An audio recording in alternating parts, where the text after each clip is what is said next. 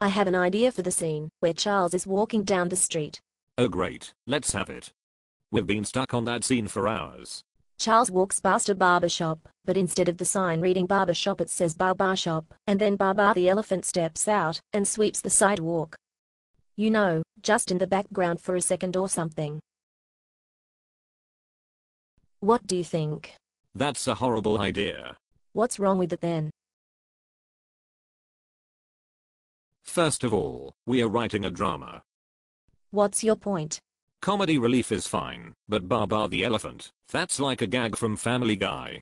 It's not supposed to be funny.